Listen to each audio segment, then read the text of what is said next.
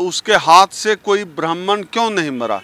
कोई मुसलमान और आदिवासी ही क्यों मरा? ये सब 2024 की तैयारी है। पूरी दुनिया में इतना झूठ नहीं बोला गया होगा आज तक, जितना झूठ नरेंद्र मोदी जी ने पिछले नौ साल में बोल दिए। तो पूरे देश को असल में ये गृह युद्ध में झोंकना चाहते हैं और इसी के सहारे इनकी राजनीति चलती है। अभी आगे आगे देखिए, होता है क्या? बड़ी तैयारी है। नौ साल लगे हैं। ऐसा माहौल बनाने में।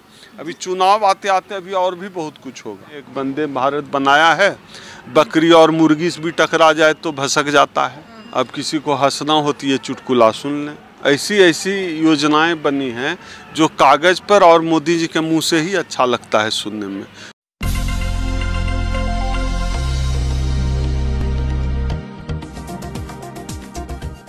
नमस्कार, मैं ब्यूटी गिरी और आप देख रहे हैं जनहित आवाज़। हमारे साथ मौजूद है अभी डॉक्टर ओम सुधा जी, जो कि बहुजनों की आवाज़ को लेकर तमाम मुद्दे हों सरकार को घेरने का काम हो या बहुजनों का आवाज़ हो, मुखर होकर बोलते हैं और बोलते हुए बिल्कुल घबराते नहीं हैं।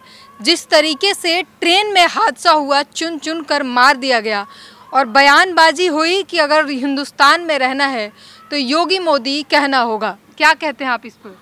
इसके लिए पूरा कोई एक दिन का जो चेतन ने किया आरपीएफ के कांस्टेबल ने इसको पूरा एक दिन का कुछ मत देखिए कि एक दिन एक्सक्लूसिव हो गया। हाँ। इसके लिए पूरे इस देश की सरकार ने इस देश की मीडिया ने पूरे नौ साल लगाए हैं है। चेतन को तैयार करने में। चेतन कोई एक दिन में तैयार नहीं हुआ है कि ओवरनाइट कोई चेतन तैयार हो गया गोली चला दिया। नौ साल लगे हैं चेतन को तैयार होने में।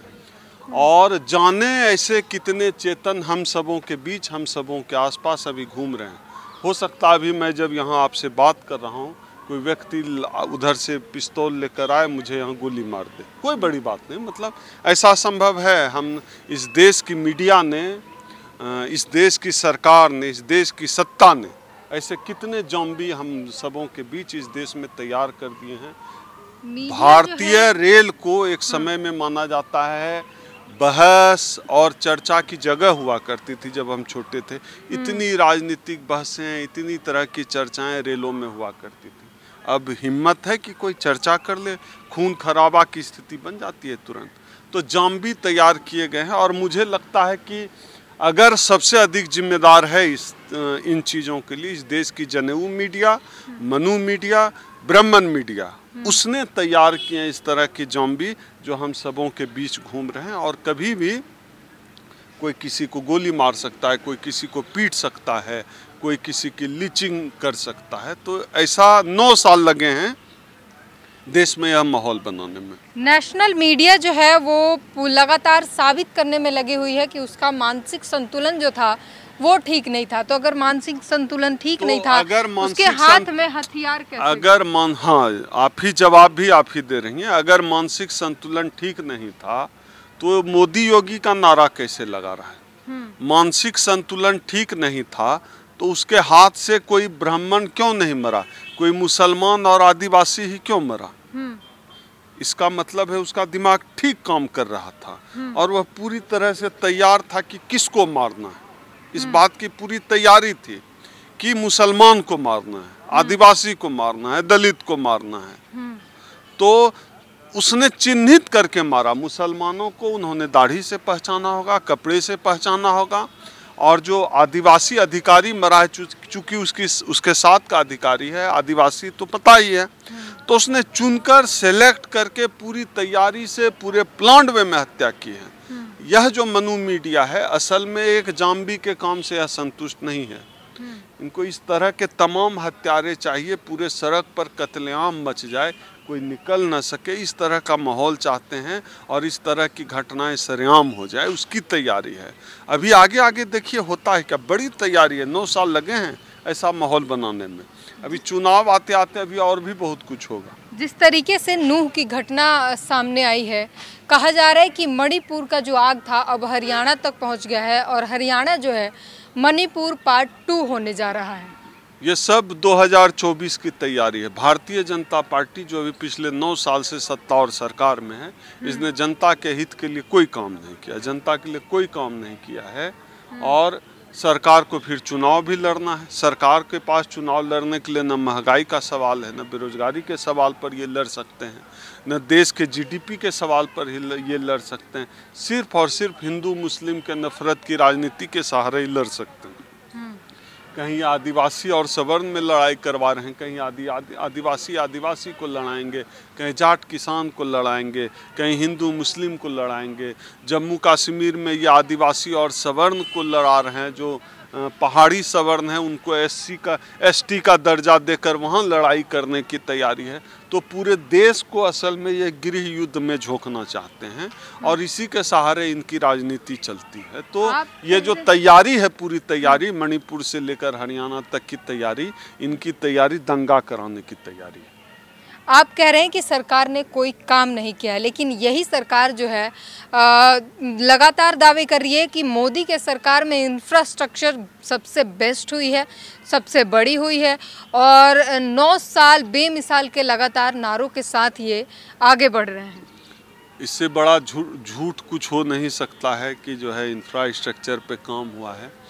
मुझे लगता है कि पिछले नौ सालों में इस देश के प्रधानमंत्री द्वारा जितने झूठ बोले गए हैं और पूरा जब से ये सृष्टि है, जब से पृथ्वी है, पूरी दुनिया में इतना झूठ नहीं बोला गया होगा आज तक जितना झूठ नरेंद्र मोदी जी ने पिछले नौ साल में बोल दिए उन्होंने कहा, हर साल एक नया आईआईएम नया एम्स बना रहे हैं।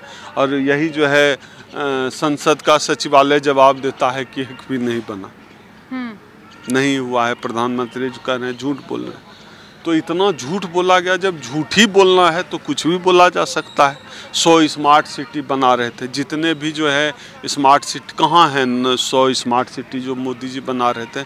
मैं जिस शहर से आता हूँ, भागलपुर शहर, वो भी स्मार्ट सिटी है। आप जाकर देखिए, हमारे शहर में पैदल चलना मुश्किल है, भागलपुर शहर में। भागलपुर शहर में जो मुख्य जो बस स्टैंड का इलाका है, नालियाँ गज गज में जाती है गोबर पड़े मिलते हैं, सड़क पे जो है जो पैखाने की टंकी है, वो उसका ढक्कन खुला हुआ है। ये इनका जो है हालत है स्मार्ट सिटी का। मैं तो अपने शहर का हाल जानता हूँ, स्मार्ट सिटी इनका कैसा स्मार्ट सिटी है। बुलेट ट्रेन तो बाकी हम लोग चढ़ ही रहे हैं, एक बंदे भारत बनाया है, बकरी और मुर्गी भी टकरा जाए तो भसक जाता है। तो इनका जो पूरा एजेंडा है विकास का इंफ्रास्ट्रक्चर का वो हम क्या पूरा देश देख रहा है? प्रधानमंत्री ने आवास योजना जनधन योजना आयुष्मान योजना कई सारी योजनाएँ दी है और जनता उसमें खुशहाल भी है। कह रहे कि अच्छे दिनों का सबूत है ये। आयुष्मान योजना ऐसी है कि अस्पताल भर्ती ही नहीं लेगा। हम्म। ऐसी ऐसी योजनाएँ बनी हैं जो कागज़ पर और मोदी जी के मुँह से ही अच्छा लगता है सुनने में। तमाम योजनाएँ जो कांग्रेस के सरकार से चली आ रही थी, उसमें बीजेपी की सरकार भी शामिल थी, जब अटल बिहारी वाजपेयी प्रधानमंत्री थे, तब भी वो तमाम योजनाएँ चल रही थी। इस देश की सरकार में S C S T O B C का जीना मुश्किल हो गया है। दलित, मुसलमान, आदिवासी डर कर जी रहा है। पिछड़ों की भागीदारी खत्म हो रही है। सरकार जाति जनगणना के खिलाफ है। पिछड़ों के हक अधिकार के खिलाफ है। ईवीएम से चुनाव होता है। पूरा जो लोकतंत्र है वो छिन्न भिन्न हो गया है और इसी में जो है भारतीय जनता पार्टी को और नरेंद्र मोदी जी को विकास नज़र आता है। इस देश में जनता की बर्बादी मतलब मोदी जी के नज़र में सरकार के नज़र में विकास वही है। लेकिन जो है प्रधानमंत्री ने तीन तलाक ख़त्म कर दिए और अब जो है लगातार पसमानदा मुसलमानों की हित की बात कर रहे हैं। इस सदी का सबसे बड़ा चुटकुला मुझे लगता है यही होगा कि भाजपा वाले मोदी जी मुसलमानों के हित के बारे में सोच रहे हैं। हाँ। अब किसी को हंसना होती है चुटकुला सुन लें। मुसलमानों के हित की बात करते हैं। आपने हाँ। क्या किया जब अखलाक को जो है पीट पीट कर मारा गया कि मीट के शक में कि बीफ था? पीट पीट कर मारा गया भारतीय जनता पार्टी के मंत्री। महेश की क्या नाम मुझे याद नहीं आ रहा। उसने जाकर जो है जो आरोपी थे उनको माल्यार्पण किया करके घुमाया था। बिल्किस बानो के आरोपी जब जेल से रिहा हुए, जो अपराधी थे बिल्किस बानो का जिसने गैंग रेप किया था, उन सब का जो है फूल माला पहनाकर भाजपा के नेताओं ने स्वागत किया। पूरे देश में आज एक भी जो है, मंत्री बीजेपी में जो है मुसलमान नहीं है। सीबीआई, राव, जितने जितने भी संगठन है, जितने भी कॉन्स्टिट्यूशनल ऑर्गेनाइजेशन है, कहीं मुसलमान नहीं दिखता है। ये मुसलमानों के भले की बात करते हैं। हम लोग सब समझते हैं और बोलने वाला भी सब समझता है। तो ये तमाम जो विपक्षी पार्टी है उन्होंने गठबंधन किया नाम रख लिया इंडिया। उसके बाद प्रधानमंत्री का बयान आया कि ईस्ट इंडिया कंपनी में इंडिया था जिसके हम गुलाम रहे। पीएफआई में इंडिया है इंडियन मुजाहिदीन में इंडिया है तो जो कि आतंकवादी संगठन है। तो इसको आप किस तरीके से देखते हैं? डिजिटल इंडिया और ट्विटर हैंडल इनका है प्राइम मिनिस्टर ऑफ़ इंडिया। उसका क्या करेंगे फिर? मतलब बेशर्मी की भी हद होती है। ये कल्पना नहीं की जा सकती है कि किसी देश का प्रधानमंत्री दुनिया में आज तक ऐसा नहीं हुआ हो कि किसी देश का प्रधानमंत्री चुनाव जीतने के लिए, विपक्ष पर हमला करने के लिए अपने देश के नाम के साथ इस तरह का भद्दा मज़ाक करता हो। अगर इंडिया नाम से हमारे विपक्षी राजनीतिक दल के भी लोग कुछ काम करेंगे तो हम लोग उस नाम का अपमान नहीं करेंगे। राजनीति करने के लिए मोदी जी को कब मुद्दे की कमी हो गई। मुद्दे और मुद्दे हैं। मुझे लगता है कि यह शर्मनाक है। इंडिया नाम के साथ देश का नाम इंडिया देश का नाम है। इसके साथ इस तरह का जो बात तर्क रखा जा रहा है वो गलत है। ये ठीक नहीं है। लेकिन इसके बाद लगातार जो है सत्ता पक्ष के लोगों ने ये कहा कि नाम तो इंडिया रख लिया लेकिन विदेश में जाते हैं राहुल गांधी तो इंडिया की ही बुराई करके आते हैं। देखिए क्या है कि ग्लोबलाइज्ड जो है वर्ल्ड है ठीक है ग्लोबलाइज वर्ल्ड है। अब राहुल गांधी क्या बोलेंगे? अब इस देश में अगर लीचिंग हो रही है आप खबर छिपा लेंगे तो खबर छपेगी नहीं? अगर इस देश में दलित उत्पीड़न हो रहा है तो आपके खबर छिपाने से खबर छिप जाएगी क्या? जो सच है वो पूरी दुनिया में कहीं भी बोला जाए सच सच होता है। और झूठ आप कहीं भी बोलेंगे ना तो सच नहीं बन पाएगा।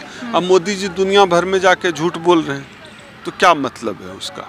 सच सच होता है सच से डर क्यों लगता है? जो सच हकीकत है सो है। आप उस अगर आपको उस हकीकत से डर लगता है तो उस हकीकत को बदल डालिए। आपने सुना किस तरीके से जो है सरकार की जो सच्चाइयाँ हैं, उसको इन्होंने साफ़ तौर पर सामने रख दिया है और जनता को बताने का काम किया है। पूरी बातचीत पर आपकी क्या प्रतिक्रिया है, हमें ज़रूर बताइए। कैमरामैन आशीष के साथ ब्यूटी गिरी जनहित आवाज़।